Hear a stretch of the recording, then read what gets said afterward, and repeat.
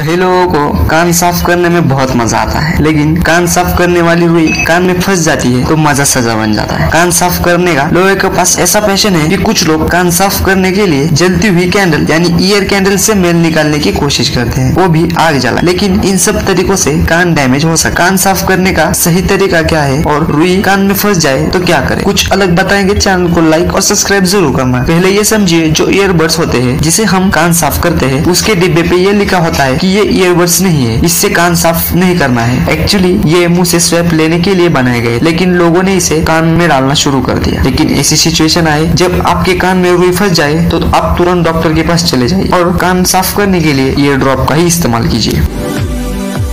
कई लोगों को सोना और चांदी लगाने का बहुत शौक होता है। कुछ लोग तो इतना सोना और चांदी लगाते हैं कि उनकी हालत बुरी हो जाती है। सोना और चांदी के भाव आसमान छू रहे हैं, लेकिन लोग खरीदने के लिए पीछे नहीं हट रहे आखिर सोना और चांदी इतनी महँगी क्यों है और